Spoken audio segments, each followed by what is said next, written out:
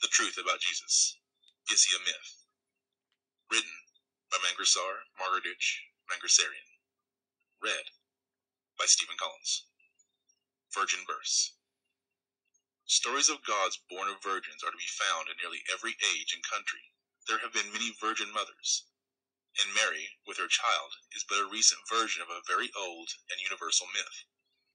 In China and India, in Babylonian Egypt, in Greece and Rome, divine beings selected from among the daughters of men the purest and most beautiful to serve them as a means of entrance into the world of mortals.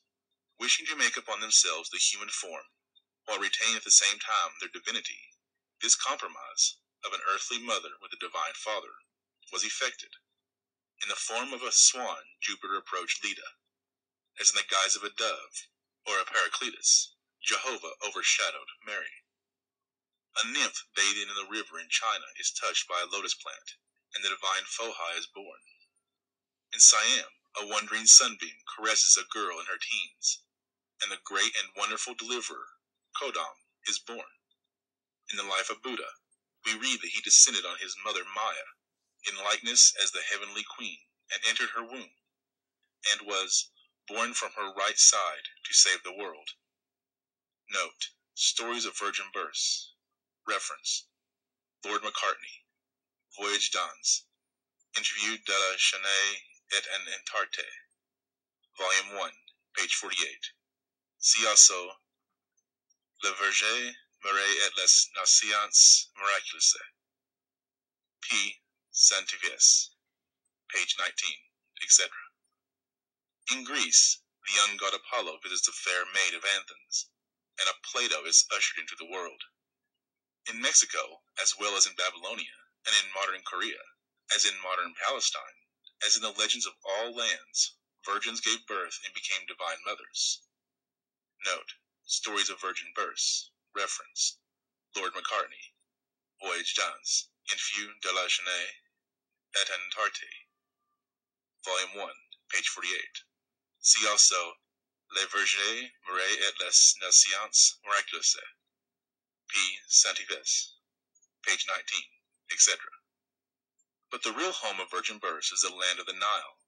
Eighteen hundred years before Christ, we find carved on one of the walls of the great temple of Luxor a picture of the Annunciation, Conception, and Birth of King Amenhotep III, an almost exact copy of the Annunciation, Conception, and Birth of the Christian God.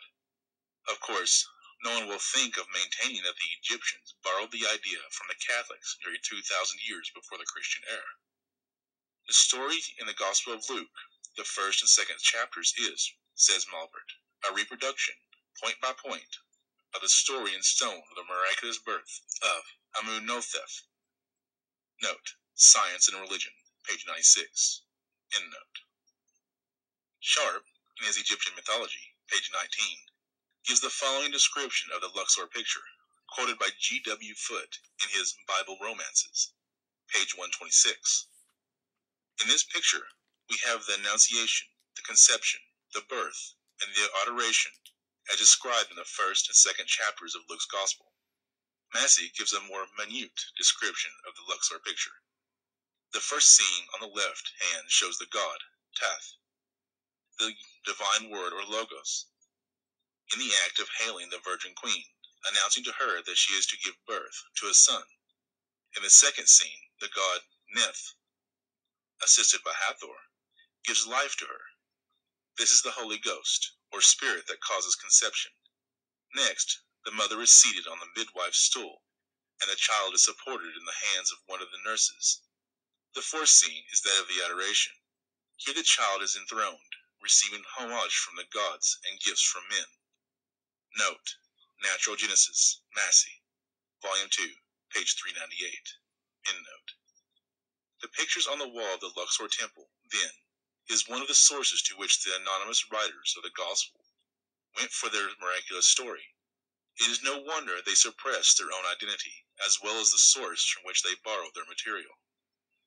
Not only the idea of a virgin mother, but all the other miraculous events, such as the stable cradle, the guiding star, the massacre of the children, the flood to Egypt, and the resurrection and bodily ascension toward the clouds, have not only been borrowed, but are even scarcely altered in the New Testament story of Jesus. That the early Christians borrowed the legend of Jesus from earthly sources is too evident to be even questioned. Gerald Massey, in his great work on Egyptian origins, demonstrates the identity of Mary, the mother of Jesus, with Isis, the mother of Horus. The most ancient, gold bedizened, smoke stained Byzantine pictures of the Virgin and Child represents the mythical mother as Isis, and not as a human mother of Nazareth. Note, Volume 2, page 487. End note. Science and research have made this fact so certain that, on the one hand, ignorance, and on the other, interest only, can continue to claim inspiration for the author of the undated and unsigned fragmentary documents which pass for the Word of God. If, then, Jesus is stripped of all the borrowed legends and miracles of which he is the subject, and if we also take away from him all the teachings which collected from Jewish and pagan sources have been attributed to him, what will be left of him? That the ideas put in his mouth have been culled and compiled from other sources is as demonstrable as the pagan origin of the legends related to of him. Nearly every one of the dogmas and ceremonies in the Christian cult were borrowed from other and older religions. The resurrection myth, the ascension, the Eucharisty, baptism, worship by kneeling or prostration, the folding of the hands on the breast, the ringing of the bells and the burning of the incense, the vestments and the vessels used in church, the candles, holy water, even the word Mass, were all adopted and adapted by the Christians from the religions of the ancients. The Trinity is as much pagan, as much Indian or Buddhist, as it is Christian.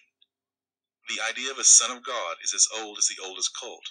The Sun is the Son of Heaven in all primitive faiths. The physical Sun becomes in the course of evolution the Sun of Righteousness, or the Son of God. And heaven is the personified as Father on high.